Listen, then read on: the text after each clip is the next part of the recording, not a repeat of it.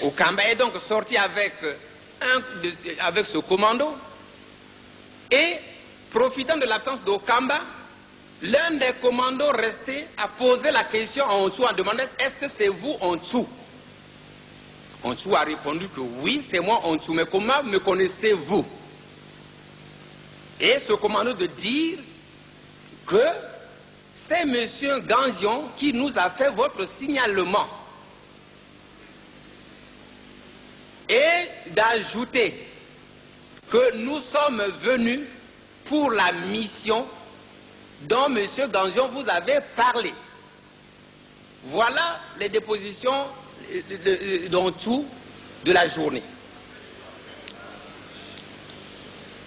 Donc, après avoir rendu compte de cela, et pour moi qui menais l'enquête, c'était intéressant de pouvoir continuer à creuser pour voir quelle, était la liaison entre ce commando qui était venu et tout, qui avait des, contacts avec M. Ganzio.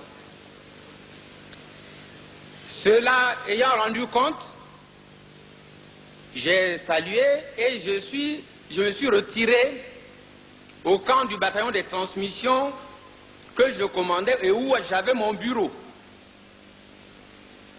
Je me suis donc euh, euh, reposé quelque temps, le sommeil m'a pris, et le matin, du 26 mars, un militaire vient me réveiller en me disant, mon capitaine, le, communiqué du petit matin, mon capitaine, venez écouter le communiqué du petit matin, c'est parce que c'est comme ça qu'on appelait, que le peuple appelait ce communiqué du, comité militaire du parti chaque matin.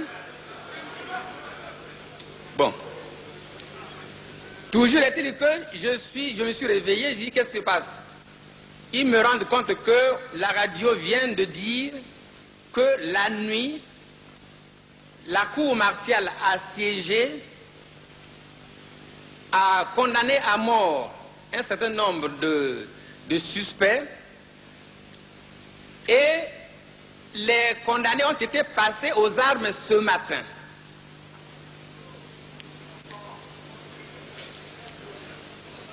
Je me suis donc, ayant cette information, je me suis retrouvé comme euh, c'est-à-dire, tout d'un coup, la tension a monté et je me suis retrouvé comme, comme fou. J'ai sauté donc dans ma voiture et je suis parti au ministère de la Défense trouver le ministre de la Défense à l'époque, Sassou. Je lui ai dit toute ma désapprobation pour ce qui venait d'être fait, c'est-à-dire l'exécution des témoins ou des suspects, comme on peut l'appeler, de ce matin-là. En l'occurrence, en dessous, le président Débat, Ilou et, et d'autres. Je...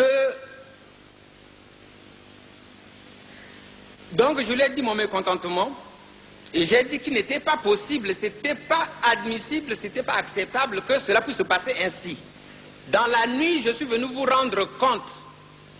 Si vous pensiez que ces gens devaient être tués, il fallait nous avertir pour que la commission d'enquête continue les enquêtes et continue à creuser pour en savoir peut-être un peu plus.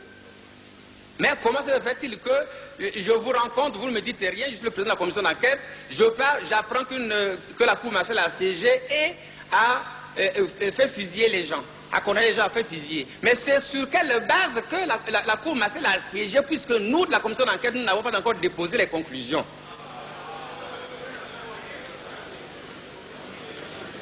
Et c'est donc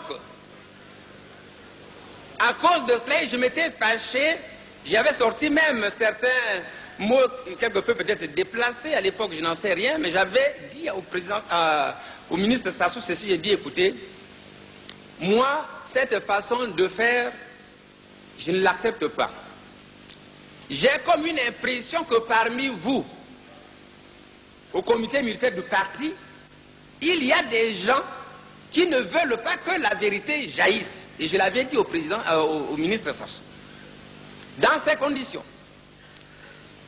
dans ces conditions, et conformément à mon caractère, je lui ai dit que je ne pouvais plus continuer à être le président de la commission d'enquête parce que vous avez tué toutes les pièces maîtresses de l'enquête. Et la vérité sera très difficile à, à obtenir.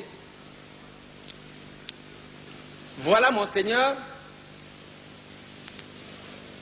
un peu les réponses aux questions que certains se posaient sur ma démission de la commission d'enquête qui était mise.